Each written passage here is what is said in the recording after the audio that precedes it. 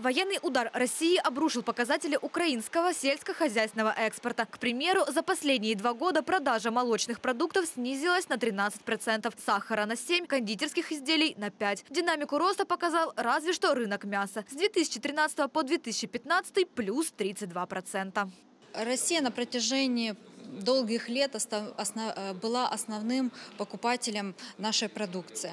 Сейчас мы видим колоссальное падение экспорта по кондитерским изделиям шоколада, сыра. Сейчас основные потоки экспортной продукции из Украины идут эм, в страны Азии, Африки,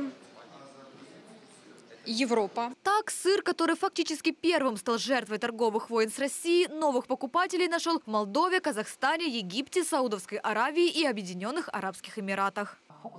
Фокусироваться лишь на европейских рынках не стоит. Многие уже ощутили, кто экспортировал только в Россию. Что такое концентрироваться лишь на одном рынке? Мы не должны повторять ту же ошибку.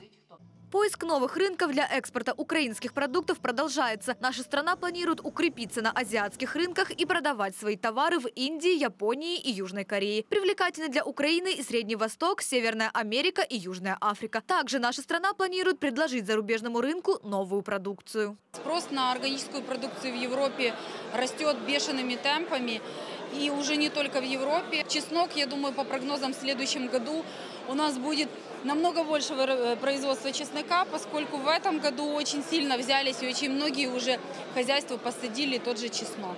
Содействие малому и среднему бизнесу в Украине оказывают международные инвесторы. Так, Европейский банк реконструкции и развития предоставляет грантовую помощь. Предпринимателям помогают привлечь консультантов для выхода на внешний рынок. Чтобы стать участником такого проекта, бизнес должен быть на рынке более двух лет и показывать динамику развития. Наша компенсация при привлечении украинской консалтинговой компании составляет 50-75% стоимости чистой консалтингового проекта, но не более чем 10 тысяч евро.